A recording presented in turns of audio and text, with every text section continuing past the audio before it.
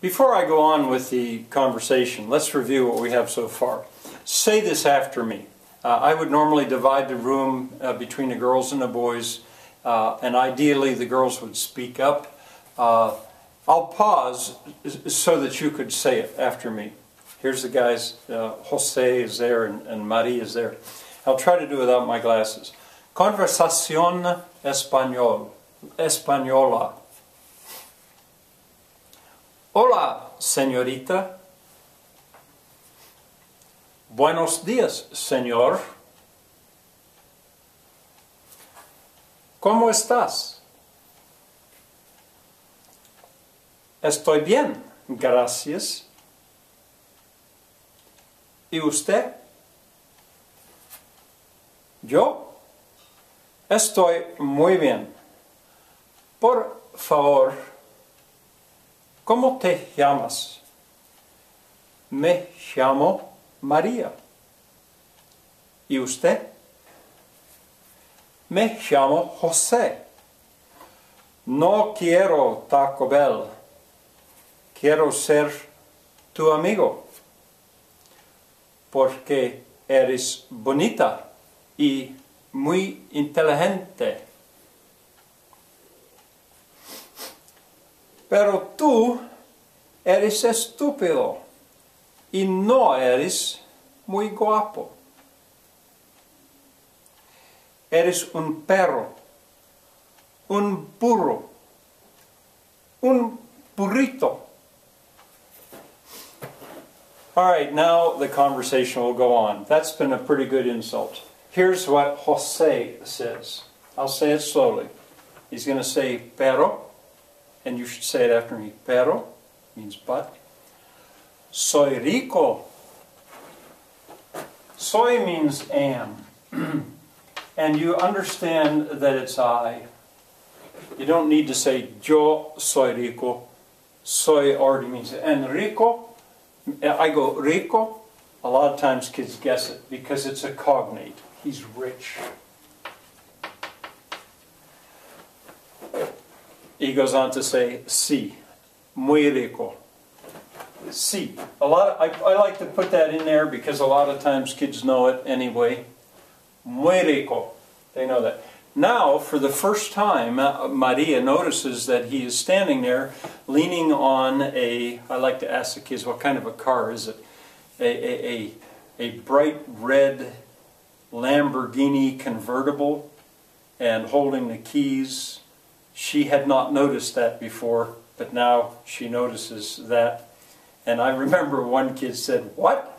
How could she not notice that? I said, Well, anyway, um, muy rico, he says. And he goes on to say, Y no soy estúpido. And not I am stupid. I'm not writing this down because you've seen these words. He says, puedo contar. Puedo means can. Uh, can. Or to be able to. Uh, and it means, since it ends with an O, it's I can. Puedo contar. Count. There's the two. He can count. Um, we would not say the two in English. I, I can count. Puedo contar. Now, I put this in here because so often students can do this already and they're so proud of it. Count to 10 in Spanish. Uh, a problem is very often they don't pronounce them well. So, uh, you know, I, well, whether I let them see it or not, here we go. Uno, dos, and see there, some are going to want to say dos, dos, tres, cuatro, cinco, seis. Now that's a that's a spelled diphthong. Seis, seis, siete, ocho. See, some are going to say ocho if they're careless.